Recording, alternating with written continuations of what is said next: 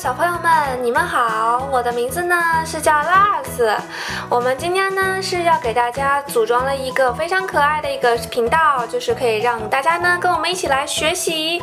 还有我的一个妹妹，跟大家介绍一下。你们好，我的名字呢是叫 Lily，我是 Lars 的妹。